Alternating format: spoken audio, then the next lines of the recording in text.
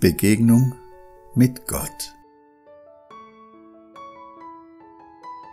Eine Frau träumte des Nachts, einen Markt zu besuchen.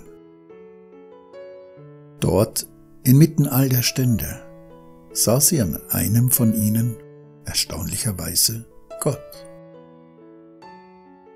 Scheu näherte sie sich dem Stand. Was verkaufst du hier? Wollte sie von ihm wissen. Alles, was das Herz begehrt.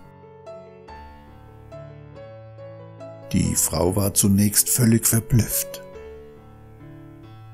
Als sie sich wieder gefasst hatte, beschloss sie, diese Gelegenheit zu nutzen und das Beste zu verlangen, was sich ein Mensch nur wünschen kann.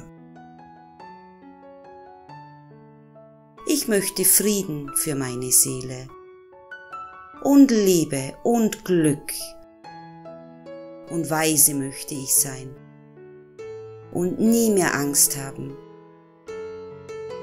Und das nicht nur für mich alleine, sondern für alle Menschen,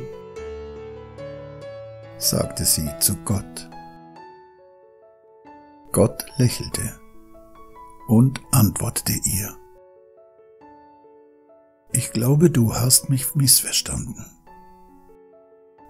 Ich verkaufe keine Früchte, sondern die Samen.